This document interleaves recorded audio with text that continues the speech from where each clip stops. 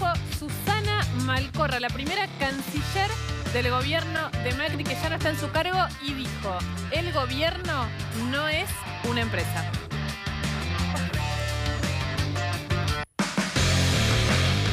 Y esta es la imagen de Tene Central en esta noche. Es Moyano en el balcón. Moyano padre, porque el hijo está en Singapur.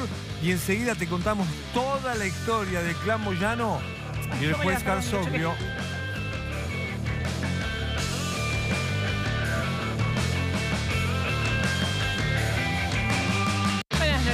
Bienvenidos a Hola, TN. Central. Nicolás sigue con los ojos así. Así. Nosotros le vamos a contar la historia, no sé si lo vieron el juez Carsolio hace un rato, lo vamos a mostrar, es el juez que tiene la causa de Pablo Moyano que decidió que no vaya preso y que está muy enojado. ¿Quién es el juez y qué dijo? Te vamos a contar enseguida. Y además estos temas. Arranca TN Central. Y esta mamushka de causas que tiene el clan Moyano, te vamos a contar varias causas de la historia y cómo están entrelazadas las causas de los Moyano entre sí. Enseguida,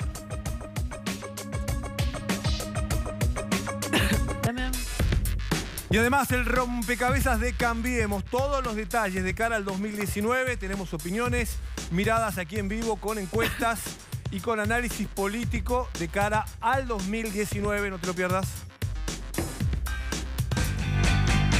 ¿Y qué hace mañana el peronismo? Divididos, enseguida te mostramos los cinco, o podríamos dar más de cinco actos que va a haber mañana por el 17 de octubre, el Día de la Lealtad Peronista, el peronismo dividido.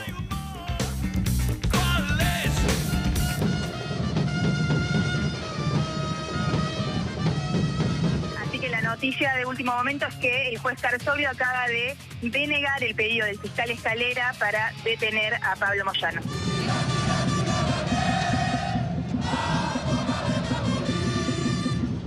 Otra cosita. Si la bancó el juez y dijo que no va a meter a nadie preso que no tenga motivo para hacerlo. Y Pablo no tenía ningún motivo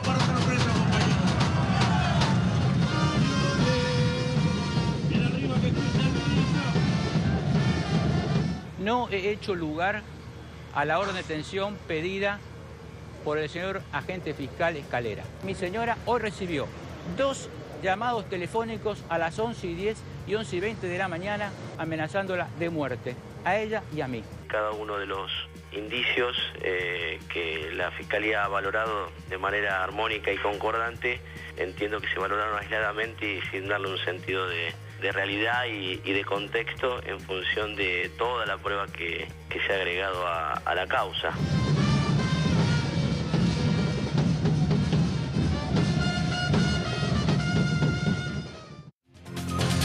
Bueno, ahí estábamos hoy, fue claramente el tema del día, la decisión. Tiene que resolver, ¿no? Sí. El juez de Avellaneda, Luis Carsoglia, tenía que resolver sobre si le da o no la libertad. La miro para allá, pues está Maru hola, Maru. presentada. Bienvenido.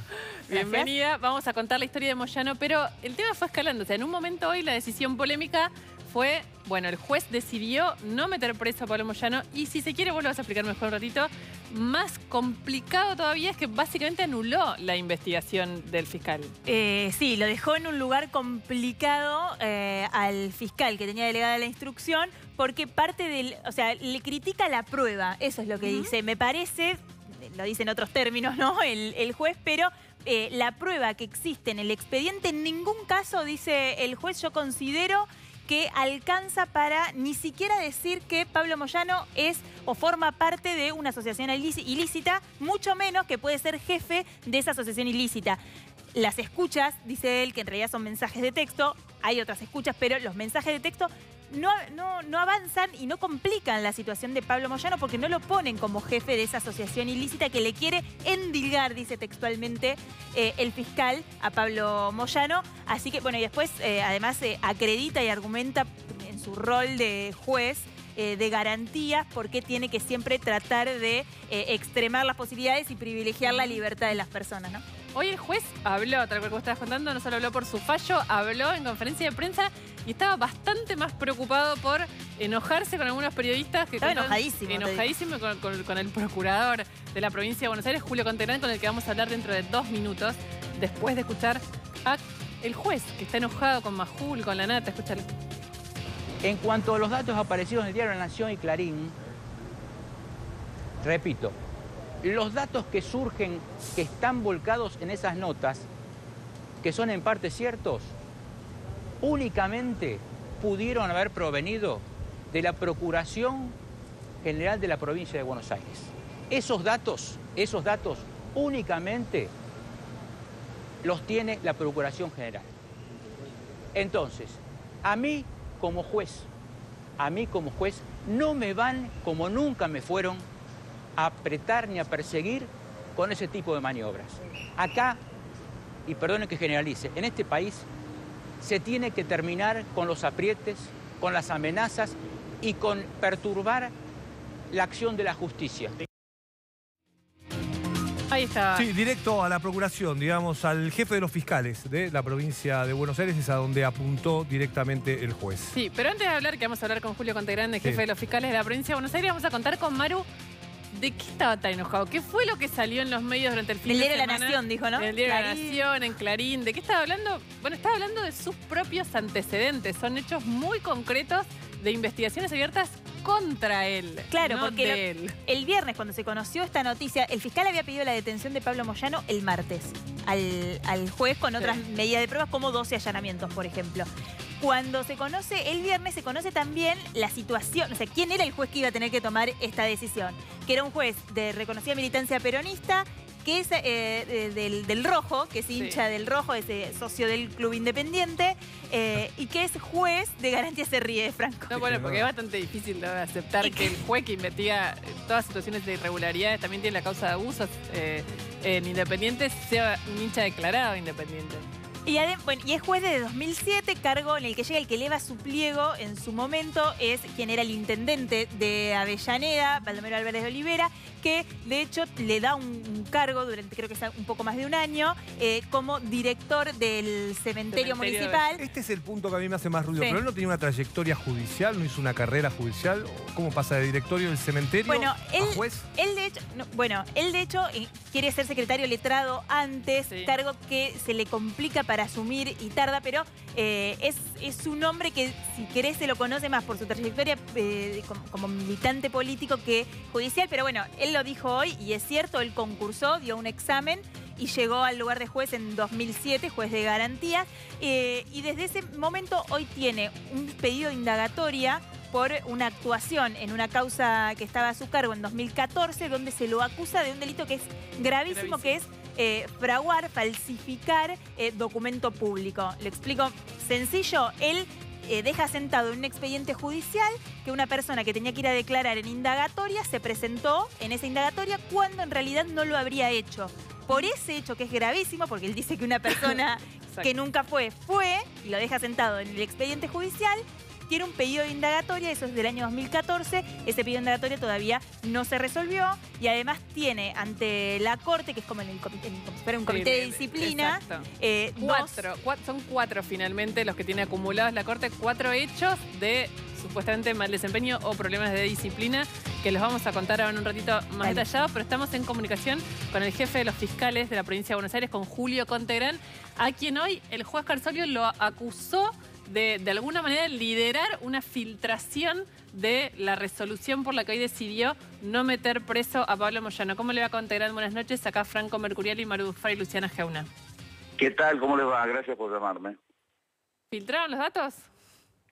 No, en absoluto. Eh, tampoco creo que me haya nombrado el juez. eh, pero de todas maneras sí cabe aclarar Lo varias nombró, cosas. ¿eh? Habló de la ¿En qué procuración. sentido? No, la procuración, por supuesto. No, no, dijo, no, dijo Contegrán, dijo ¿eh? Contegrán que le había pedido reuniones a usted y que inclusive... No, está bien, está bien, pero no vinculado a la filtración. Respecto Mm. por eso, vamos por partes, Ah, porque son sí. tantas cosas y tantas confusiones. Sí. Para hacer un basamento de análisis de las cuestiones, este, yo recordaba una novela de Chesterton extraordinaria, donde Chesterton dice, va a llegar el tiempo en que haya que explicar por qué las hojas son verdes en verano, es decir, las obviedades. Y en ese sentido yo, respecto de estos dichos, yo no escuché la conferencia de prensa del magistrado. Sí le digo lo siguiente, primero, él eh, efectivamente me pidió un par de reuniones y yo lo recibí dos veces en mi despacho. De eso consta eh, antecedentes documentales, porque como corresponde a todo funcionario, nosotros registramos todas las personas que van a mi oficina con las que tengo entrevistas y el tiempo por el cual me entrevisto. En caso de hacerlo solo, yo hago una minuta con posterioridad de la reunión, de modo que eso está a disposición, es público. ¿Y de qué le, de qué le habló cuando se entrevistó con usted el juez? De, de los asados que hacía en el foro de Avellaneda Lanús, eh, de algunas necesidades que tenía de carácter eh, administrativo y yo le aclaré al juez que eso no dependía de mí, que era una cuestión que dependía de la Corte, y, me habló de temas vinculados a la justicia en general, fueron, fueron variedades las dos veces, no, no hubo nada concreto.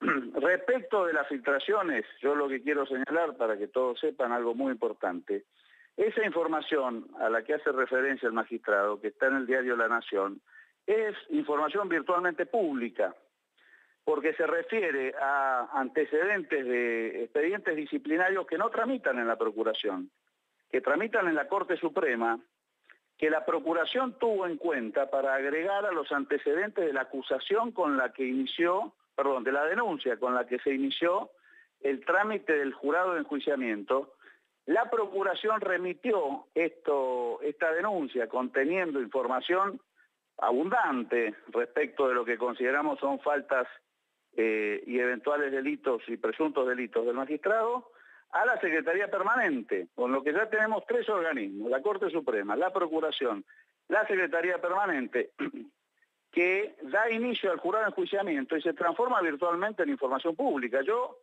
no, no he podido tomarme el trabajo, pero es probable que si uno googlea esto sale. Yo Ahora, Contegrán, para no perdernos en, el costado, porque estamos hablando de las filtraciones de información y acá la causa importante es la causa de Pablo Moyano y el pedido de un fiscal y un juez que lo deniega, digamos, una este, decisión que tiene el juez y eh, la potestad de poder rechazar, digamos, el, pedido que hace el fiscal. Para que todos entendamos, eh, a su juicio, digamos, la actuación del fiscal es correcta, la actuación del juez es correcta. Yo no he analizado el fallo del juez, eso correrá por cuenta del fiscal a cargo de la unidad de coordinación especial, que es el que solicitó las medidas, y el fiscal tendrá que decidir si esa este, decisión es fundada o no, y en tal sentido interpondrá el recurso de apelación. El primer contacto que yo tuve con la unidad de coordinación especial, con el doctor Escalera, él me dijo que ya habían hecho un primer análisis del fallo, que el fallo a juicio de la unidad de coordinación era absolutamente infundado, que incluso tenía incongruencias muy notorias y que por tal razón ellos iban a preparar el recurso de apelación para poder este, llevar los antecedentes a la Cámara para que se expidiera respecto al pedido de detención de una de las personas. Advirtiéndome también el doctor Escalera que eh, la persona a la que se le había requerido la, detención, que en realidad fueron dos y las dos fueron desestimadas, y seis medidas, lo que es más curioso, porque las medidas de prueba habitualmente eh, es muy, muy excepcional que el juez de garantías las niegue, porque el que tiene la facultad de la investigación en el proceso acusatorio que rige en la provincia de Buenos Aires es el fiscal. Eh, me aclaró que esta persona eh, tenía ya, había sido notificado ya en el mes de febrero, en los términos de los artículos 1 y 60, eh, que en la jerga implica la imputación y poner en conocimiento de la persona que está involucrada en una causa penal para que pueda ejercer sus derechos. De manera que existieron varios meses de investigación posterior y todo eso fue incorporado al pedido de detención y a los pedidos de las medidas probatorias que fueron denegadas por el juez. Así que seguramente el fiscal a cargo de la Unidad de Coordinación Especial, doctor Escalera, va a interponer recurso de apelación contra este fallo. Contegrán, buenas noches. Maru Dufar lo saluda. ¿Qué tal, Maru? Buenas noches. Buenas noches. El, juez hoy en esta conferencia de prensa improvisada eh, habló de presiones, dijo que lo habían presionado. Ahí no quedó claro del sector del que había recibido las presiones, pero insistió en esto de que eh, en la Argentina se tiene que terminar con esta forma de intervenir en la justicia y de presionar según las necesidades de la política. Coincido, absolutamente. Sí, sí, sí. Coincido absolutamente. Yo creo que hay que terminar con las presiones, este, está claro, Eh, habrá que analizar objetivamente lo que sucedió desde el viernes, que curiosamente en un par de medios, sobre todo en uno, se filtró la información del pedido que había hecho días atrás el fiscal Escalera, eh, y a partir de ahí se sucedieron una serie de episodios en los cuales, si ustedes pasan revista, no van a ver a ningún integrante del Ministerio Público, ni de la Administración de Justicia del Poder Judicial de la provincia, haciendo manifestación alguna. Nosotros nos reservamos hasta que el juez eh, resolviera lo que ha sucedido para poder hacer cualquier tipo de manifestación, de modo que yo no veo qué clase de presión nos pueden imputar. A ver, salvo que el juez esté hablando de otras presiones en respecto de las cuales yo coincido con él, que hay que terminar con este tipo de procedimientos. ¿De qué presiones está hablando usted? Yo no estoy hablando de ninguna. Estoy diciendo que el juez de las presiones en general. Usted dice que hay algunas presiones que podrían hacer que estuvieran de acuerdo usted y el juez. Y en las presiones en general respecto de la justicia. Por ejemplo, ¿no es presión este, una convocatoria de Seiza cuando llega Pablo Moyano, este, básicamente, o amenazando con un paro, con medidas de fuerza si es detenido depende, depende de las personas. Nosotros no nos hemos sentido presionados por ninguna actitud. El, el fiscal lo solicitó, este, el fiscal no va a cambiar su actitud procesal y va a dejar de cumplir con sus funciones por lo que pueda suceder o por lo que ya ha sucedido. Por eso digo, depende de las personalidades. Eh, la Fiscalía y los integrantes del Ministerio Público tienen muy claro qué es lo que tienen que hacer y en tal sentido eh, han sufrido embates, este, acusaciones, eh, amenazas múltiples, el propio Escalera en otras causas. No se olviden que es el fiscal que intervino en las causas de la Salada 1, Salada 2, eh, nosotros tenemos en el mismo departamento judicial y también a cargo de este mismo juez la causa de los abusos en Independiente y bueno, nuestros fiscales no, no, se dejan amedrentar por las amenazas, cualquiera sea, y por las presiones. Pues yo digo, depende de las personalidades. Eh, lo que está claro es que los funcionarios tienen que administrar justicia, los funcionarios judiciales administrar justicia o cumplir con las funciones que tienen en miras al rol que les ha determinado la ley y no dejarse presionar. Nosotros no sufrimos presión alguna, no alguna. Contegrán, le hago la última. Eh, cuando empezamos le preguntaba esto, el, juez acusó a la procuración de filtrar un documento que no era público todavía, que era su resolución por no meter preso a Pablo Moyano. Si ustedes esperan que él haga una denuncia, porque eso implicaría una denuncia penal probablemente. No, no, nosotros damos inicio. Yo he dado inicio verbalmente ante el conocimiento de esta denuncia. Me he comunicado con el doctor Max Perkins, que es el secretario de Control Disciplinario y Enjuiciamiento de la Procuración, para que el día de mañana inicie el trámite disciplinario y a su vez ponga en conocimiento de los fiscales de turno correspondientes y en caso de que exista algún tipo de cuestionamiento de que intervengan los fiscales del Departamento Judicial de Loma de Zamora, que parece razonable por los temas que estamos tratando, nosotros en estos casos lo derivamos a fiscales de otro departamento judicial. En definitiva, se va a iniciar el día de mañana, ya formalmente se ha iniciado de manera verbal, el trámite disciplinario, el señor magistrado Carsolio va a tener que ir a ratificar su denuncia, va a tener que aportar las pruebas necesarias y además se va a iniciar la investigación penal preparatoria, es decir, la causa penal, donde él como denunciante va a tener que en primer lugar este, ratificar la denuncia formalmente, aportar las pruebas y eventualmente someterse al riesgo de una falsa denuncia. ¿Y si no denuncia? No, ya denunció. Ah, ya lo denunció públicamente, ¿no? Lo Por eso, ya denunció. Usted dice que tiene que ir a judicial. Si no lo ratifica, el trámite no puede continuar. Este es el tema. Entonces, nosotros podemos obrar de oficio ante la existencia de un eventual delito de acción pública y lo vamos a hacer. Y entonces, en tal caso, lo vamos a convocar al magistrado, ya no como denunciante, sino como testigo. Como carga pública va a tener que ir a declarar bajo juramento de decir verdad y entonces se va a someter al riesgo de haber declarado falsamente y en tal virtud haber incurrido en un delito. Por sí o por no, instituciones, son, son, las instituciones, esto es lo que quiero trasladar. Está claro. ¿Es una causa política no son los... ¿Cómo? ¿Es una causa política ya esta? ¿Por qué? No, digo, porque eh, estamos hablando no de una situación judicial, sino de cruces políticos, ¿no? Directamente. ¿A qué se refiere? Acusaciones a medios, a gobiernos. No, no, Moyano dice directamente que es el gobierno el que lo quiere meter preso, no, no está hablando... No, bueno, no, no. nosotros no, no tenemos nada que ver... dio cinco conferencias de prensa hoy, todo el tiempo dijo que era el gobierno sí, sí, y que lo quería meter preso. mientras dan conferencia de prensa, nosotros trabajamos. Lo que yo le quiero decir es, es muy sencillo, nosotros no hacemos política, nosotros, yo el 28 de diciembre de 2016, cuando asumí este cargo, abandoné los cargos políticos y abandoné la relación con el poder político y con cualquier espacio político con cualquiera, porque a mí me votaron todos los espacios políticos de la provincia para asumir el cargo de procurador. Gracias, Y en ese sentido, todos, todos, absolutamente todos los integrantes del Ministerio Público están en la misma situación. Para nosotros no es una causa política, es una causa que tiene trascendencia institucional, por supuesto, y vamos a actuar conforme a las instituciones. Gracias, buenas noches. Adiós, gracias.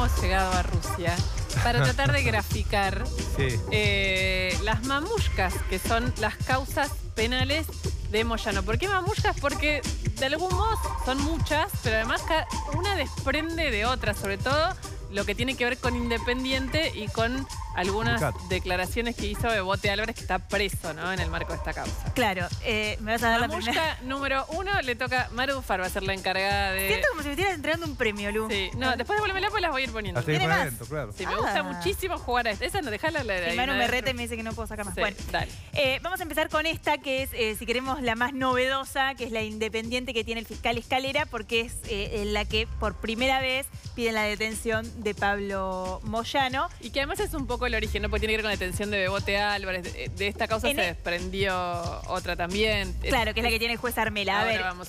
En Sí. esta de Independiente en particular, lo que se investiga y tuvo muchas eh, eh, variantes, si querés, porque al principio no estaba directamente eh, relacionado Moyano ni los Moyanos, No. pero desde febrero de este año, desde febrero de 2018, tanto Pablo como Hugo Moyano están imputados en esta causa. Lo explicaba recién con Tegrán las diferencias técnicas de la imputación.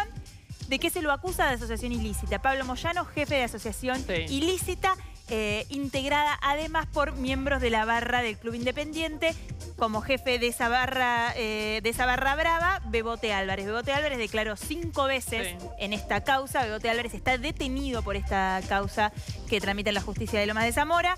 Y no Eh, es el único, ¿no? Son varios. no, son detenidos. muchos, son muchos, pero digo, eh, la declaración de él es de, un, de una persona que hoy está detenida, pero lo que dice es, nosotros teníamos esta asociación ilícita con la que cometíamos delitos con fines económicos en relación o en vinculación o cumpliendo órdenes según el fiscal Escalera de Pablo Moyano. Claro. Dame la mamushka, porque Perdóname, ¿qué un ejemplo para que todos entiendan. Digamos, eh, Copa Sudamericana, dan este, entradas truchas a la barra, venden 12.000 entradas, eh, digamos que el dinero queda fuera del club independiente, Exacto. esa es la estafa, y es mucho dinero, ¿no? Pueden ser, no sé, 6 Obviamente. millones de pesos, por ejemplo, en un torneo de esas características por un partido de fútbol, es mucha plata. ¿no? Exactamente. Esa mamushka desprendió otra mamushka, porque ¿qué pasa? Con la declaración de Bebote Álvarez se abrió una causa que está en el juzgado de Luis Armela, que es por lavado de dinero. Cuando en, una, en el marco de una causa suceden hechos que son hechos nuevos y no son vinculados necesariamente con la que está en trámite, se abren causas nuevas. En este caso, como es un delito federal el lavado de dinero, fue a parar lo del juez de Quilmes,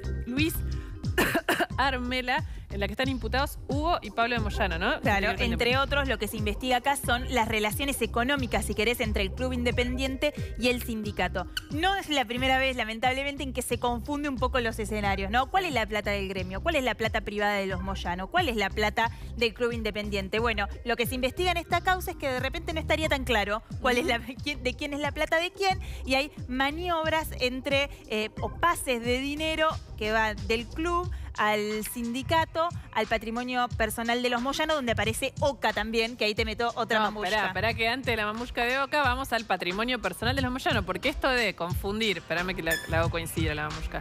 Ahí está, de confundir, eh, si quieres, los negocios del fútbol con los negocios personales, también tiene otro objeto de investigación, una causa donde lo que se investiga es justamente si habrán desviado fondos de la obra social de los camioneros a, digamos, a partir de las empresas particulares de los Moyanos, lo que le habría permitido enriquecerse bastante, eh, que es lo que se conoce la causa del remedio gate. De Sí, o es, sí, la de enriquecimiento ilícito, desvío de fondos de el- del sindicato, en realidad de, de la obra social del sindicato hacia el patrimonio de los Moyano. Esta, si querés, eh, Lu tendría que haber- podría ser también la primera mamushka, la chiquitita. la más también. vieja, ¿no? Porque es la más Es vieja, la más se- vieja. se da, eh, la tiene el juez Claudio Bonadíos por una denuncia que hizo Graciela Ocaña en su momento eh, y que en este año, inclusive eh, al principio de este año, Sí. hizo muchas ampliaciones también Elisa Carrió, Pablo Y lo que se investiga ahí. Y ahí también sabés que es importante los aportes que hizo la Unidad de Información Financiera, que eh, creo que a esta altura ya son tres o cuatro informes eh, que fueron incorporados a las causas judiciales, a todas, donde lo que hacen es mostrar eh, el pase de dinero uno de memoria, un hotel que pertenecía, eh, por ejemplo, a, A camioneros. a camioneros y que después terminaba en Oca. Y, eh, con eh, empresas en el medio que Damasco es, estoy citando de memoria, así que disculpen Sí. si, si me equivoco, eh, pero lo que muestra acá es que de repente dinero que estaba en el sindicato termina en empresas proveedoras del sindicato y cuando vas a mirar quiénes son los dueños de esas empresas o los directores, la familia política de Hugo Moy- Moyano, Zulet y los hijos del primer matrimonio de Zulet. Un dato te agrego, Dale. cortito. Los hijos de Zulet entraron al blanqueo, se supo, claro. y blanquearon un millón cien mil dólares. Así es. Cuando. eh, bueno. ¿Podés o te ayudo? Para que no puedo mamushka, Ay, el ruido perdonen. ¿eh? Pero era muy importante, porque ahora vamos a la causa de Oca. El juez Claudio Bonadío la que tiene es la causa, lo decíamos recién, que tiene que ver con la administración de programas especiales, con la supuesta malversación. Y después la otra entiendo que tiene juez Barral, que es la que es, tiene que ver eso, con la manera de enriquecerse Claro, a través se- de todo. Son todas Ahí tan medio se- claro, ahí medio se cruzan. Por eso tanta mamushka. ¿no? Claro, eh, el juez ¿coincide Néstor no Barral de? Morón, esta denuncia es nueva. Lo que se dijo en su momento es que de alguna manera como que estaban denunciados los mismos hechos que en la causa de Bonedío. ¿Qué es lo diferente, si querés, Lu, Sí. en esta causa? Dos propiedades muy lujosas que compra eh, Moyano en Parque, Parque Leluar. Leluar, que las hemos hecho para PPT muchas veces, le aseguro que son muy lujosas. que la compró a través de empresas, de empresas que, o casualidad, son eh, proveedoras de camioneros y aparece camioneros casi o casualidad como su único. No puede abrir la mamushka. No se está viendo, pero mientras Maru habla estamos peleando con la mamushka. Y es de Rusia la mamushka esta, quiero que lo sepan. ¿eh? Se la trajo nuestro productor Manu Jovia la mamá, eh, que le agradecemos mucho que nos haya prestado las mamushkas para esto, pero bueno, sí. Las propiedades de Parque Leluar las compraron, que pertenecen a los Moyanos, las habían comprado a través de, pro- de empresas cuyo único cliente es el gremio de camioneros y que son de eh, la familia política de Hugo Moyano. Otra vez la confusión. Sí. Te queda una causa que está en la Red justicia de facturas truchas. penal económico. La Una- última Una gran Bueno, eso. la- Enorme En este país las facturas truchas no se le niegan a nadie, ¿viste cómo es, no? Todo el mundo tiene una causa por facturas truchas. claro, Muy evasión. difícil, está lleno de acerrín acá el piso, porque es muy difícil cerrar esta mamushka más grande, pero bueno, debe ser porque es mucha Ah. plata, ¿no? También. Bueno. Eh, 100 millones de pesos en Vamos a- principio sería lo que Ahí. está investigando la justicia. Eh, esto es en el fuero penal económico, es un delito penal económico. Este, no está en Comodoro Pi, digamos. No, exactamente. Bueno, y cerramos con lo que vimos hoy en las imágenes del día, que es un gran poder sindical eh, para movilizarse de una manera como se vio hoy, este, hacía tiempo no se veía, ¿no? Moyano, la CTA, los distintos eh, dirigentes gremiales que se juntaron este, una y otra vez para respaldar a Moyano, diciendo que si lo tocaban a él, lo tocaban a todo el gremialismo, con un argumento eh, de asociar a la crisis económica o la devaluación, la situación de la inflación, con las situaciones personales en la justicia de los moyanos. ¿no? Creo que Hicieron los van- un vínculo directo ¿no? a la situación personal de ellos con la crisis económica. ¿no? Dijo que, que los van a ir a buscar todos a, a Pablo Moyano cuando vuelva, porque A a todo esto Pablo, Moyano A está en. Singapur, está en Eh, Emiratos Árabes con de- Hoffa, con el hijo Sí, del el famoso camionero asociado a la mafia ¿no? en Estados Unidos, que un día desapareció. este, Bueno, no sé, cuando Jimmy vuelva Hoffa. van a ir todos los digo, más allá de camioneros, según mostraron Sí. hoy, el Van resto del igual. sindicalismo a eh, esperarlo, acompañarlo, hacerle aguante. Marcela Pagano.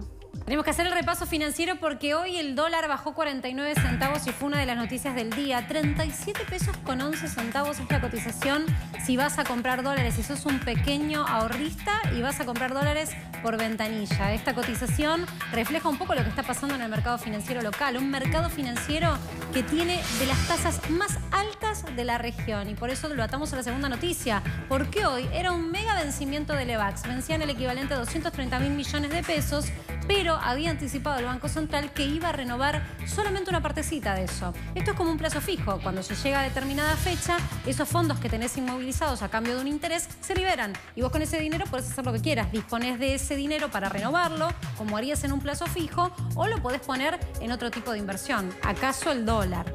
¿Qué fue lo que sucedió hoy? Bueno, el Banco Central renovó prácticamente la mitad del stock que vencía y el resto, esos pesos quedaron dando vueltas. Hoy no fueron a parar al dólar, hay que decir que no se sabe qué va a pasar mañana, pero también esto está atado a que hay otros instrumentos que empiezan a rendir con tasas interesantes.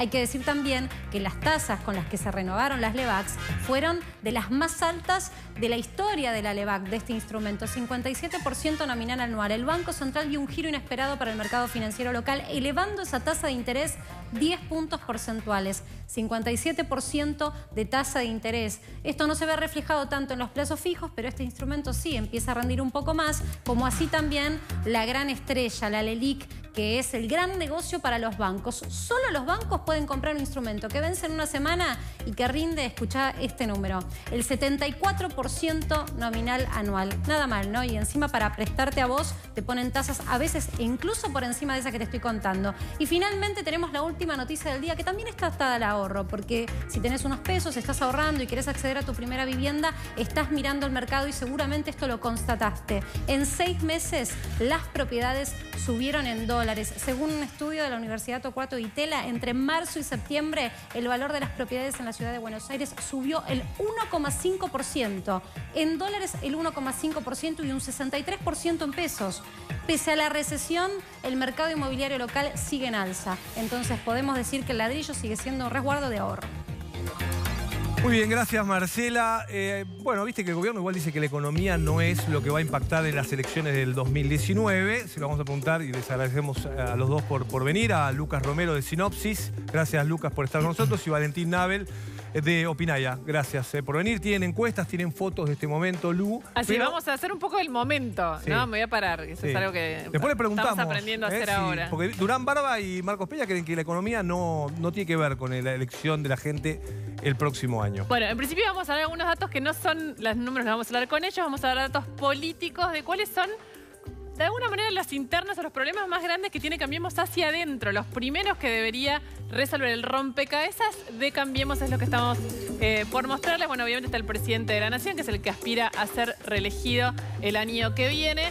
Está Jaime Durán Barba y está Marcos Peña. Los dos son eh, los organizadores históricos. Se reabrió lo que en gobierno llaman la oficina de Balcarce. No se refieren a Casa de Gobierno que está en Balcarce 50, sino a la unidad básica del PRO. Pero en este caso el tema es Cambiemos, es la alianza Cambiemos. Y él, está dentro del PRO, pero vamos a ponerlo ahí, que es Emilio Monzó. Recuerden que se había alejado, es el presidente de la Cámara de Diputados, pero es sobre todo un enorme armador político para el gobierno, está en la mesa política electoral, pero es uno de los que por momentos no entienden algunas decisiones que se toman en el gobierno sin anuncio previo y sin preparación previa, como fue el tema del gas la semana pasada. ¿Quién es el otro que está, los que están en el rompecabezas, obviamente, pero un poco que no saben si encajan o no, a pesar de que son una parte fundamental.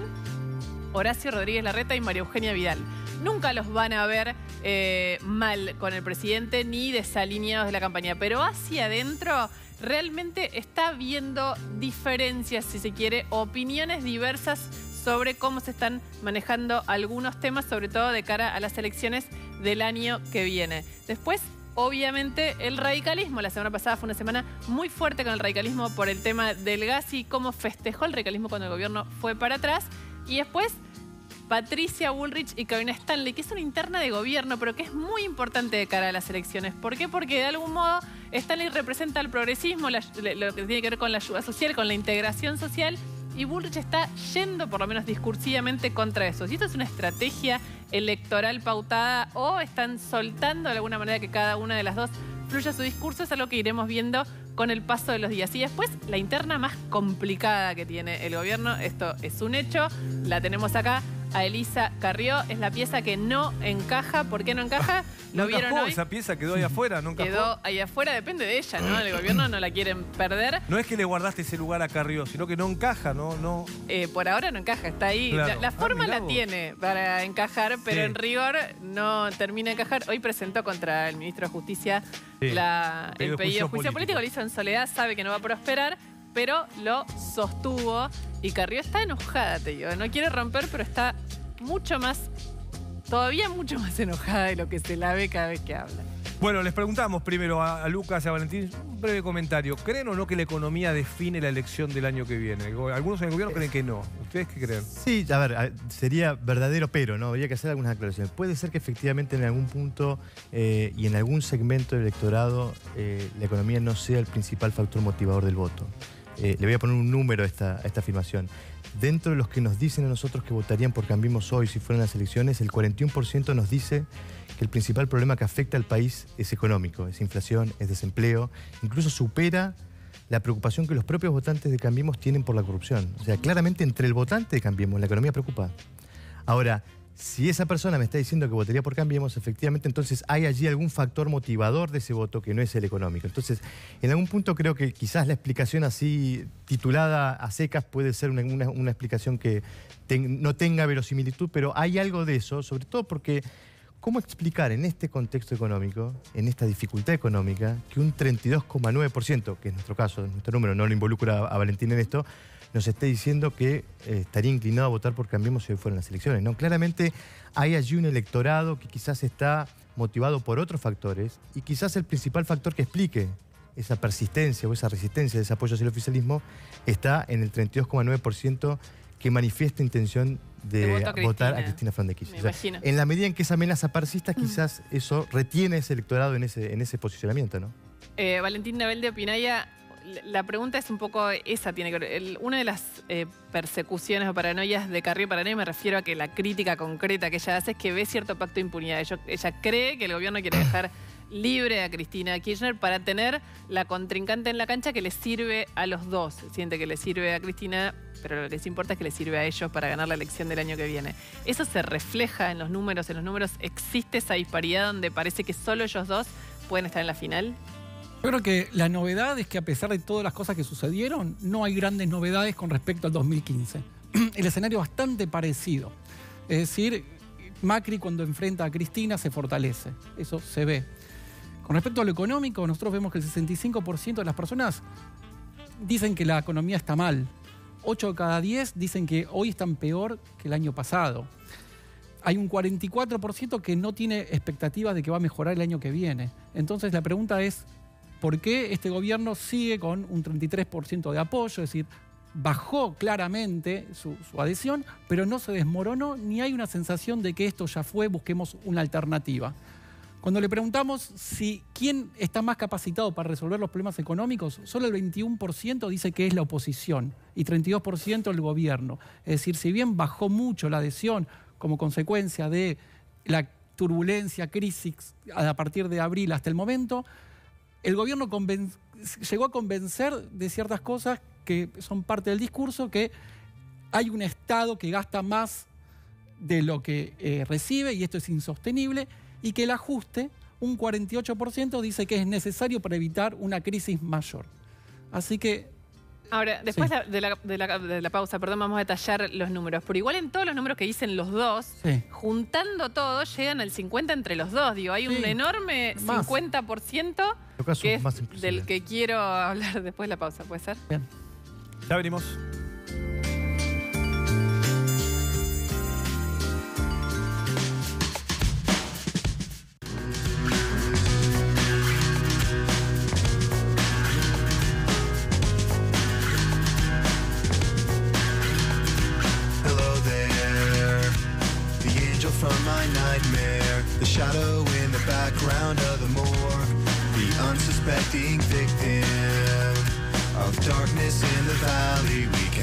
Like Jack and Sally if we want, where you can always find me. And we'll have Halloween on Christmas, and in the night we'll wish this never ends. We'll wish this never ends.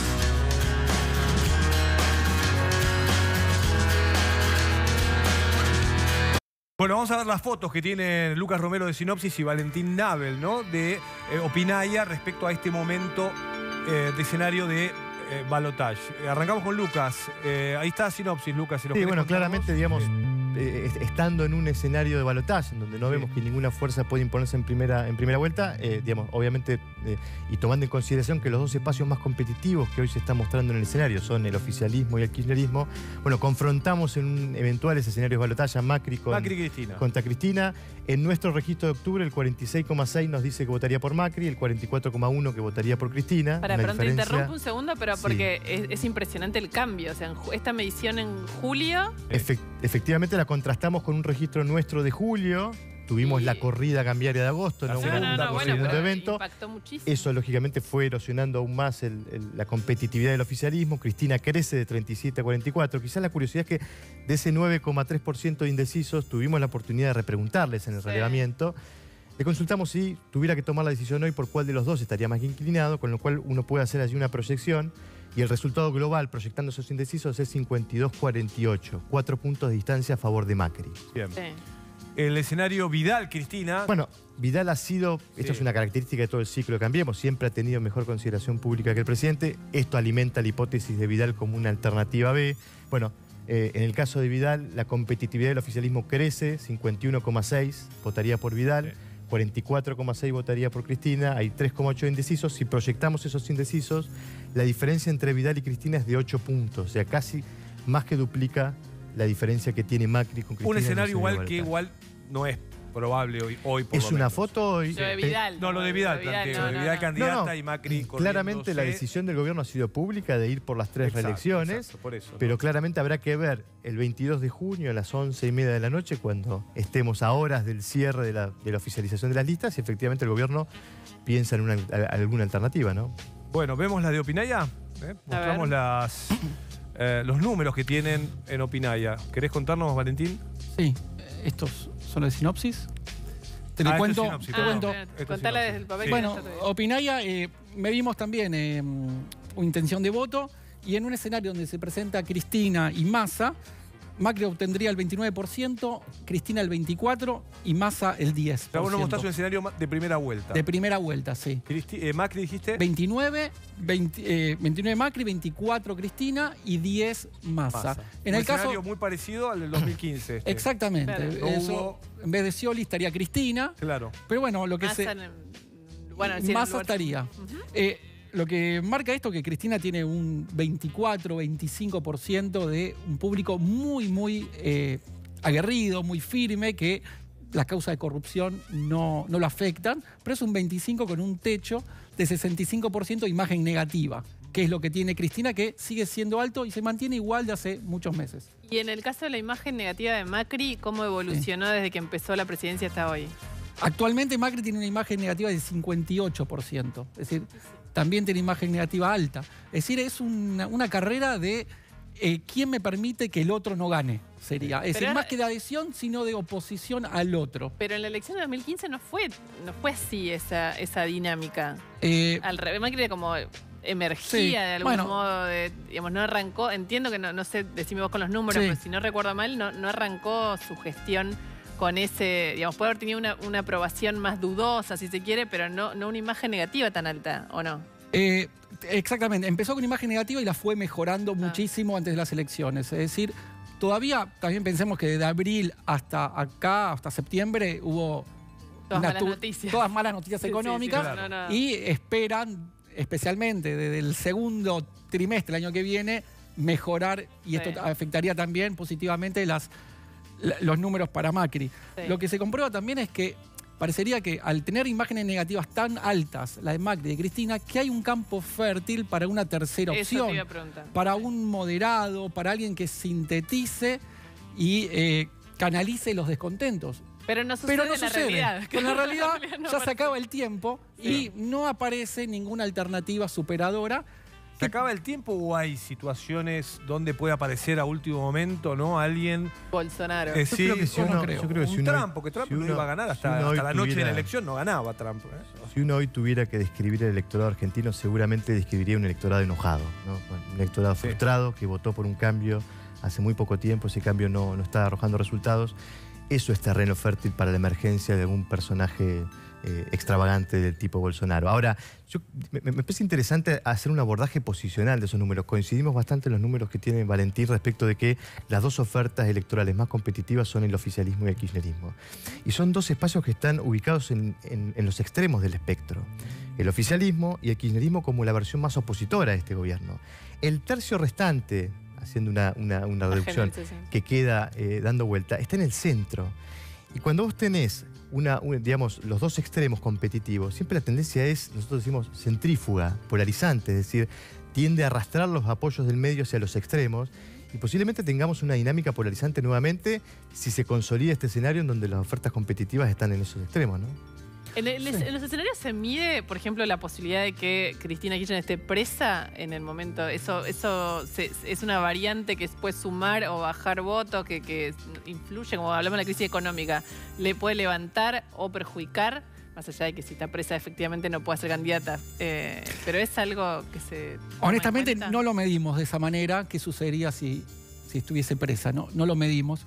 Pero me parece que al igual que Lula, le sería muy difícil transferirle los votos a alguien, porque de hecho el kirchnerismo no tiene figuras más allá de Cristina, por eso le haría muy difícil eh, un triunfo también.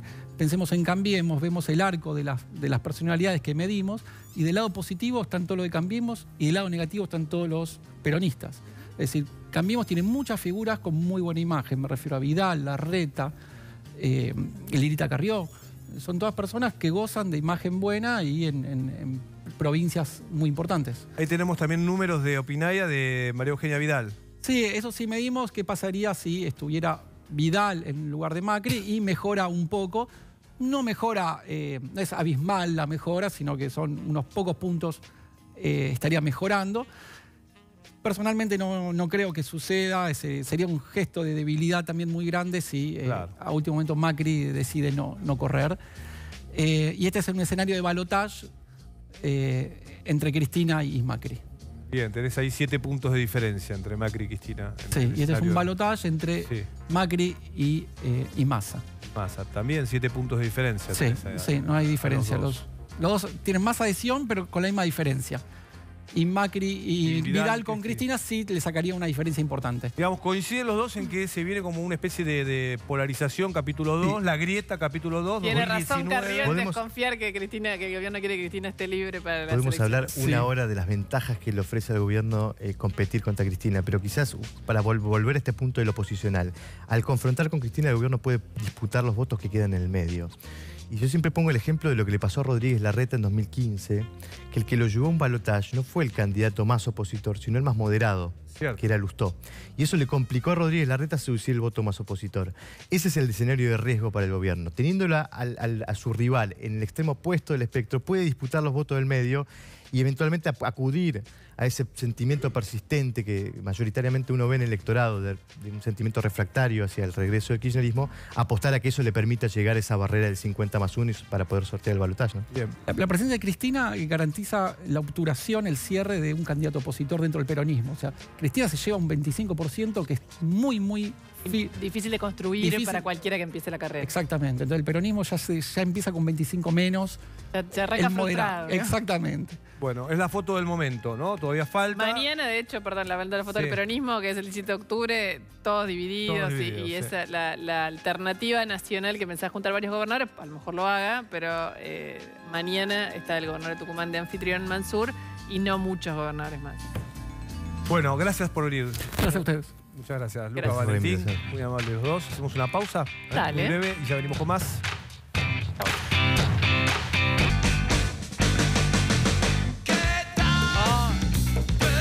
Ahí está sonando muchachos.